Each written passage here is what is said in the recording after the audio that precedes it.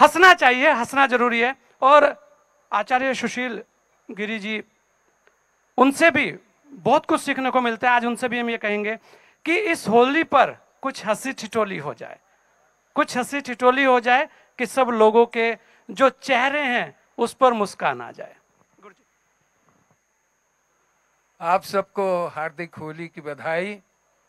Network ten ने एक नए इतिहास को रचा है।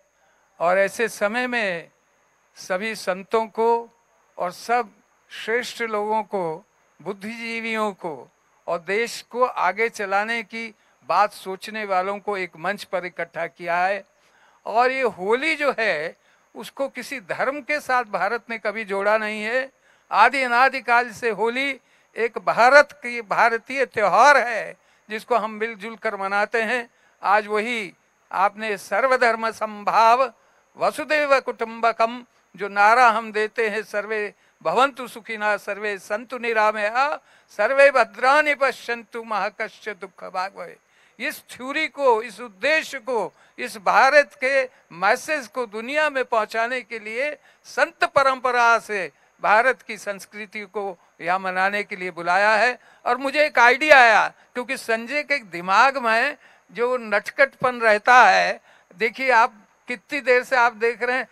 आप हंसे ना हंसे या आपको हंसा के ही रहेंगे। तो मुझे एक बैठे बैठे याद आ रहा था एक निमंत्रण आया इस वर्ष 20 तारीख को जब हम होली खेल रहे होंगे 25 को। और बर्मा की जो आ, देश है उसने होली पर पिछली बार भी बुलाया। उनसे मैंने कहा आपका आइडिया संजय का आइडिया लिया कि मैंने कहा कि 20 राजदूत वहाँ होंगे। 20 देशों के राजदूत होंगे क्यों ना हम उनको ये समझाने की कोशिश करें, जो आज हम नेटवर्क टेन के माध्यम से कर रहे हैं, कि दुनिया में ये संदेश है, क्योंकि राजदूत होता है, वो यहाँ से जो संदेश देता है, उसके देश में जाता है। हम उनको जाके ये बताना चाहते हैं, सभी धर्मों के धर्मगुरु, हमने एक प्रोग्राम बना लिया है, और संजय जी, आपका नेटवर्क टेन विशेष रूप से उसकी कवरेज करे, और वो आ, संदेश जो है जिस प्रकार से पार्लियामेंट में हमने सभी ने धर्म सब धर्मों के धर्म गुरुओं ने नई पार्लियामेंट का प्रधानमंत्री जी का न्योता स्वीकार करके पूरे विश्व में इस बात को कहा है कि सिर्फ़ हिंदू कहे कि भारत मेरा है ऐसा नहीं है। ऐसा हमारा सब भारत सबका है।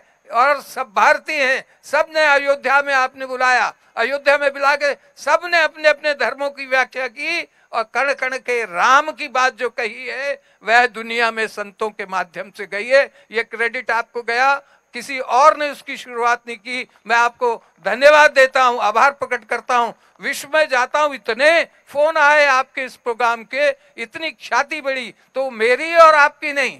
हमारे देश की, भारत की बनी है तो ये संदेश और ये मैंने आपको निमंत्रण भी दे दिया है। विस्तार से बात करूँगा, उस अम्बेसी में जाकर 25 तारीख को हम एक अद्भुत नज़ारा पेश करेंगे और दुनिया में जाएगा। यही हमारा भारत है, यही देश है, यही हमारी संस्कृति और संस्कार है कि हम मिलके उत्सव मनाते हैं, जैसा आज होली मना रहे हैं। आइए, हंसीए, गाइए और काना संग होली मनाइए।